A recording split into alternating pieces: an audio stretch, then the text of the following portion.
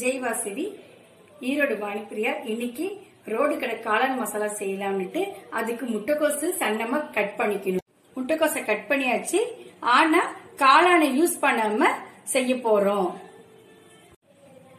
மைதா மாவு ரெண்டு டீஸ்பூனு.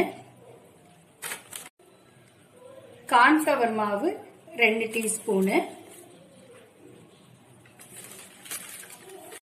இஞ்சி பூண்டு பேஸ்ட் மிளகாத்தூள் தேவையான அளவு கரம் மசாலா முக்கால் டீஸ்பூன் உப்பு அரை டீஸ்பூன். இதெல்லாமே பிசையணும். நல்லா இதுல முட்டைக்கோசுலயே தண்ணி இருக்கும். ஏன்னா நம்ம கழுவி தான் முட்டைக்கோசு செஞ்சதுனால தண்ணி அதுலயே இருக்கும். அதனால தண்ணி இல்லாம ஃபஸ்ட்டு பிசைஞ்சு வச்சுக்கணும்.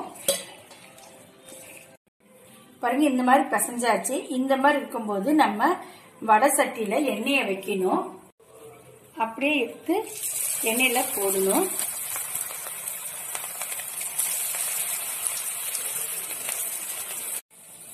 பாருங்க இப்படி பரட்டி பரட்டி நம்ம போட்டு இந்த நேரத்துக்கு வந்த உடனே நம்ம டிரான்ஸ்ஃபர் பண்ணிக்கணும். எண்ணெயிலிருந்து எடுத்து வேற பவுல்ல டிரான்ஸ்ஃபர் பண்ணிக்கணும்.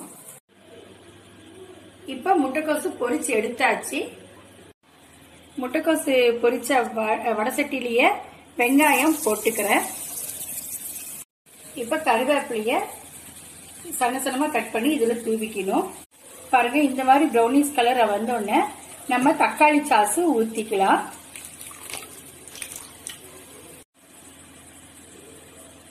மஞ்சள் கொஞ்சம் இது மிளகாத்தூள் அரை டீஸ்பூன். அரை டீஸ்பூன். கரம் மசாலா கால் டீஸ்பூன். இப்ப எல்லாமே நல்லா கலந்து விடணும். கார்ன்ஃபிளவர் மாவு ஒன்றரை டீஸ்பூனு போட்டு நல்லா கலந்துக்கணும் தண்ணி ஊற்றி பாருங்க கட்டி இல்லாம கார்ன்ஃபிளவர் மாவை கலந்துக்கணும். பாருங்க கலந்த கான் தண்ணிய இதுல ஊத்திக்கணும். இன்னும் எக்ஸ்ட்ராவும் தண்ணி ஊத்திக்கோங்க. இது நல்லா கொதி வரணும். கொதி வர்ற வரைக்கும் வெயிட் பண்ணணும். பாருங்க கொதி வந்துருச்சு. இப்ப நம்ம முட்டைக்கோசு ஃப்ரை பண்ணது இதுல ஆட் பண்ணிக்கணுங்க.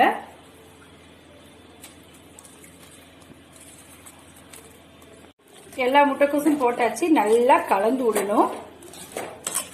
பாருங்க இந்த மாதிரி இருக்கும்போது நம்ம அடுப்பை ஆஃப் பண்ணிடணும். பாருங்க ஒரு தட்டில் எடுத்து வச்சுட்டு வெங்காயம் மேலே இப்படி தூவி அலங்காரம் பண்ணிட்டு நம்ம சர்வ் பண்ண வேண்டியதுதான். பாருங்க ரோட்டு கடை காளான் ரெடி ஆயிடுச்சு. எல்லாரும் ட்ரை பண்ணி பாருங்க. தேங்க்யூ